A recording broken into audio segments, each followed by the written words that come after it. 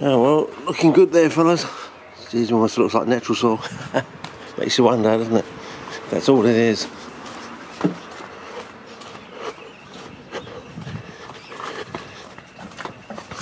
So that's the only mistake you've been making is the combination. You try and grow it in pure sphagnum, which is a white wood, or growing it in all pure peat, which is a brown wood, and you really need the combination of the brown and the white to have the brown rot fungi and the white rot fungi growing in the same pot together. Yeah, anyway.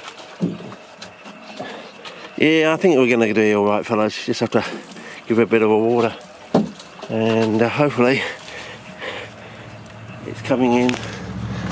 Oh, a little bit in there, but yeah, I reckon that will settle down over time, fellas. Spot culling, yeah, as you do. I think it will settle down over time. So, uh, yeah. Yeah, look, it's just making it. Yeah, yeah, see the central, the central zone there. It's clear, which means it's it's going to get there, I reckon. So uh, there you go.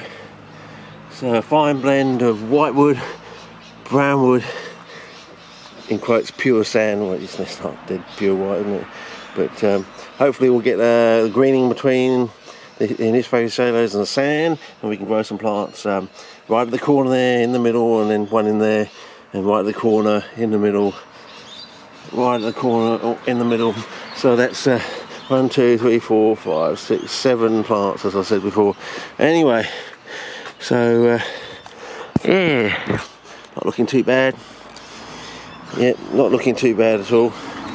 And we're still uh, basically around about coming up to the middle of November so I think so we got uh, middle of December January February March uh, and maybe a bit of April, but mainly, mainly they usually crap out about the after March into April. So then April's the um, the fall month here, basically when they all colour up. So that might be very interesting too. So basically got another four months of growth to go. So uh, yeah, tune in. We're day 59, I think. So what will that be when we get there? Another 120 days or something?